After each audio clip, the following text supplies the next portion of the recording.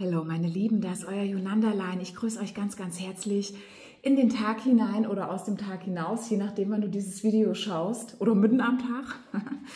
Das kann eine Botschaft für dich sein, wenn du offen bist für eine neue Liebe.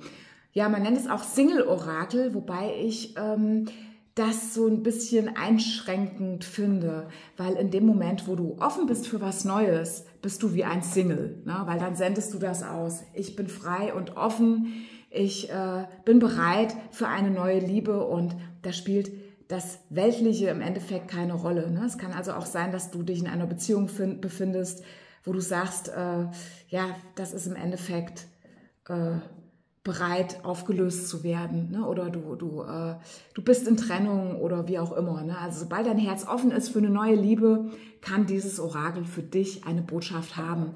Und wir legen heute mit dem Ethereal Visions Tarot bei Matt Hughes und kombinieren dann noch mit den Runen. Die muss ich hier schon mal gleich ein bisschen näher ins Feld tun. so, ich hoffe, ihr habt eine feine Zeit gehabt, ihr lieben Offenherzigen, ne, bis hierher. Und wir schauen mal, wie die Energien sich gerade so für euch konstellieren.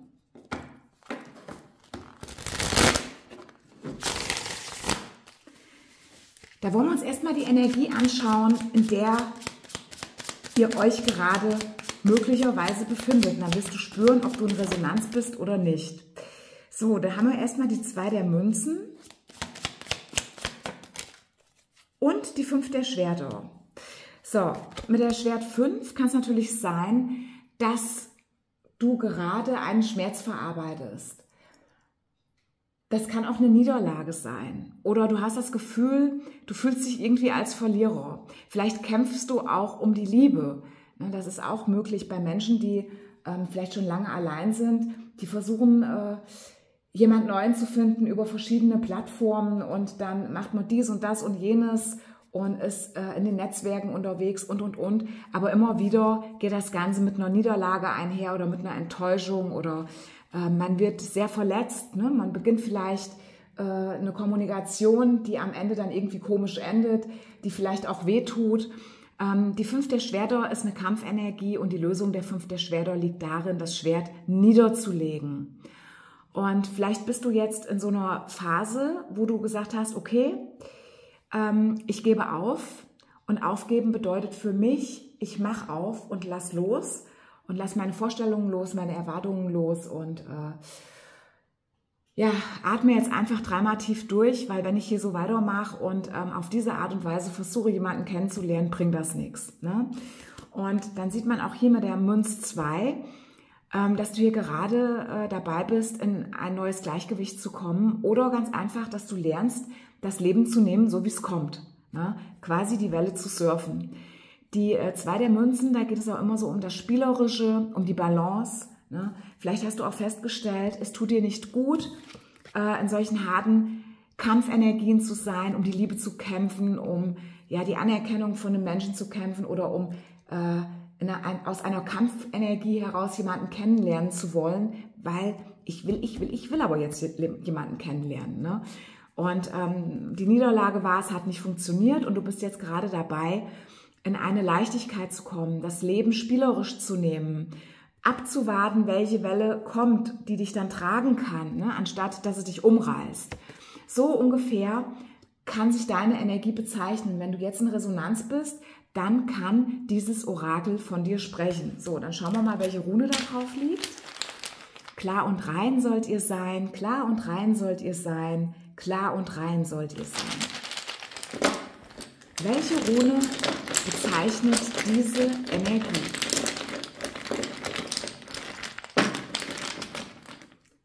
Und ich habe die Ansus. So, und genau das passt. Das heißt wirklich kurz gefasst, Gott sitzt am Ruder. Also, dass du hier wirklich sagst, ich überlasse es jetzt dem Himmel. Dass du an diesem Punkt angekommen bist. Da ging aber ein Kampf voraus, also Kampf in Anführungsstrichen. Also wirklich der Versuch, jemanden kennenzulernen, der Versuch, endlich die große Liebe zu finden oder der mehrfache Versuch, der immer wieder Versuch. Ne, auf sämtlichen Wegen. Es wurde wirklich alles ausprobiert und ständig, äh, ja, hat man im Endeffekt, äh, ja, den Verlust eingefahren. Ne? Etwas hat sich wieder zerschlagen oder man ist verletzt worden, enttäuscht worden. Ähm, kann auch sein, dass du hier äh, eine große Hoffnung in eine Verbindung hattest und hast gedacht, diesmal wird's was. Und dann hat das Ganze sich wieder zerschlagen, ist wie so eine Seifenblase geplatzt. Und die Rune Ansos, die steht wirklich äh, dafür, dass man wirklich sagen kann, ich gebe es ich geb's ab nach oben, ich gebe es auf, ne? ich öffne mich für das, was kommt. Ich warte ab, welche Welle zu mir kommt und ich werde die Welle reiten, anstatt in ihr abzusaufen. Gott sitzt am Ruder. Ne, dass du hier ins Spielerische gehst, dass du in, ins Loslassen reingehst. Die Rune Ansus ähm, steht auch für Kommunikation. Ne, das kann auch bedeuten, dass aktuell in dieser Phase der Leichtigkeit eine neue Kommunikation jetzt gerade entsteht. Du dir diesmal aber vorgenommen hast, du gehst da anders ran an die ganze Sache. Leichter, lockerer. Ohne eine zu hohe Erwartungshaltung, sondern ähm, du erwartest nichts und bist offen für alles, was von sich aus kommt. Ne? Das ist eine richtig gute Energie, weil da liegt so eine, so eine Erkenntnis drauf. So, dann schauen wir mal, welche Energie verlässt dein Feld. Und das ist eine Energie, die schon die ganze Zeit da war. Nur so kann sie rausgehen. Welche Energie geht raus? Da haben sich auch zwei gezeigt. Aha, ja, das, äh, das ist ein Anteil von dir selbst. Ähm, mit der Königin der Stäbe bist du ja eine sehr dynamische Frau, ähm, auch wenn du männlich bist hier als Zuschauer. Auf die Königin, ähm, äh, vielmehr die Königin fällt immer auf den Zuschauer, auch wenn männlich. Das habe ich hier so festgelegt, um ganz einfach nicht durcheinander zu kommen. Und die Königin der Stäbe, das ist die dynamische Frau. Das ist die Macherin, die packt was an, die ist auch sehr leidenschaftlich, denn sie ist das Wasser des Feuers. Ne, also Liebe und Leidenschaft, Lebensenergie werden ihr zugeschrieben.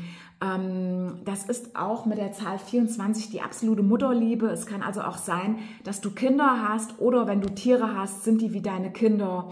Ähm, oder ähm, du hast vielleicht auch äh, Freundinnen, die vielleicht wesentlich jünger sind, die im Endeffekt dein Kind sein könnten. Für die bist du halt die Mutter, die die Freundin ist oder ne, bist da so ein bisschen die... Ähm, die, äh, wie soll ich das jetzt sagen? Das ist eine Freundschaft, aber du bist auch, hast eine große Vorbildfunktion vielleicht für eine jüngere Person. Also du bist hier schon ein sehr lebendiger Mensch, lebenslustig, lebensfroh, Vorbild für andere, dynamisch, euphorisch, energiegeladen, leidenschaftlich, gefühlvoll.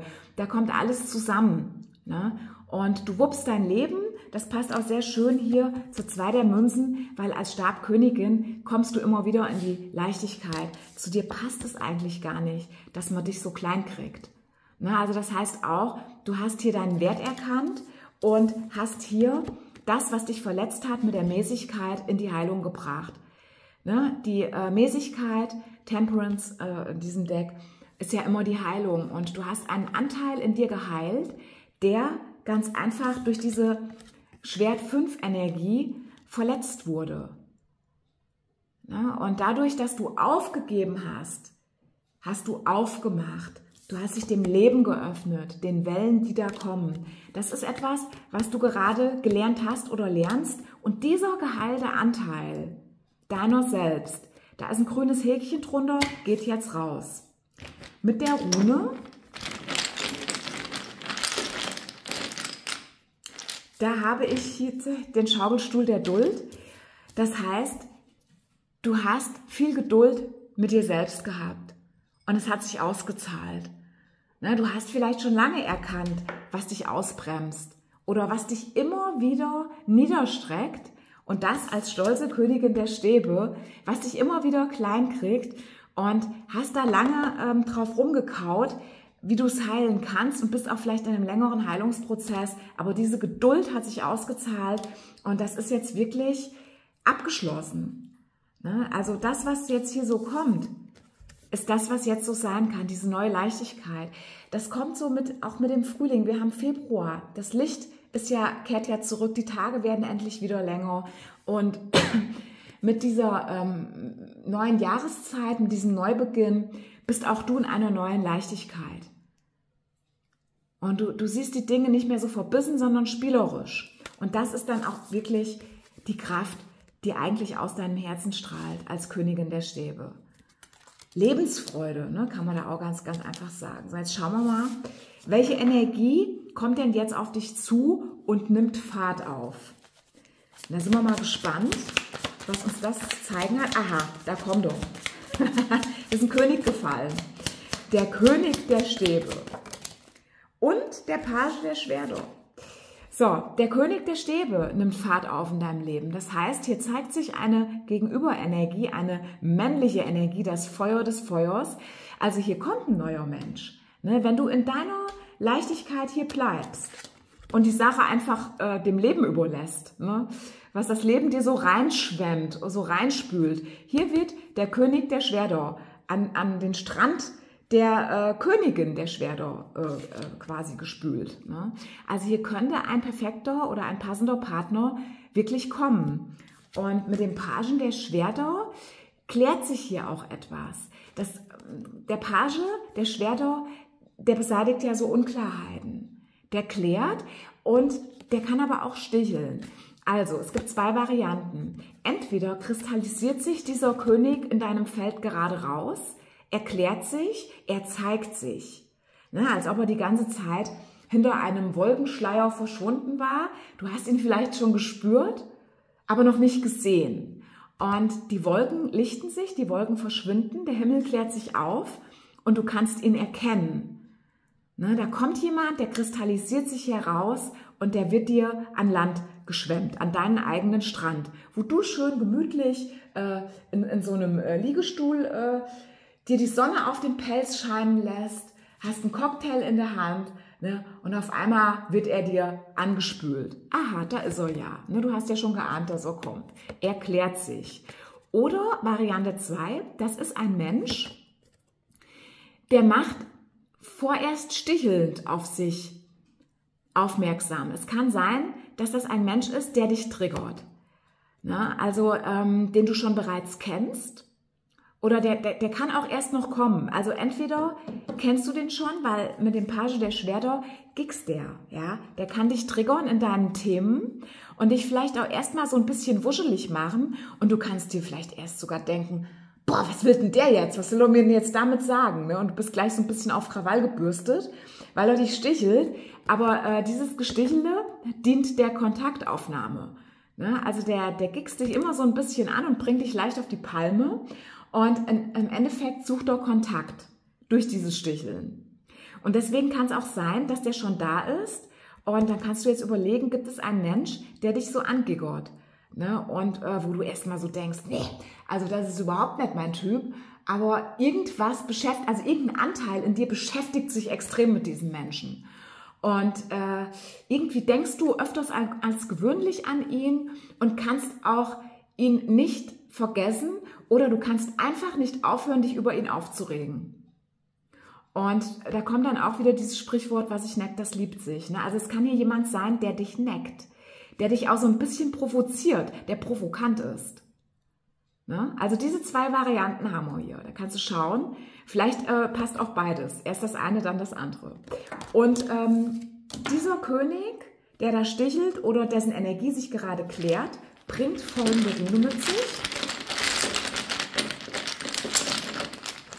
Und da habe ich ein Herzelein gezogen, weil in meinem Runenbeutel sind nicht nur die Mondrunen, sondern auch all die feinen Dinge, die mir die Community schickt.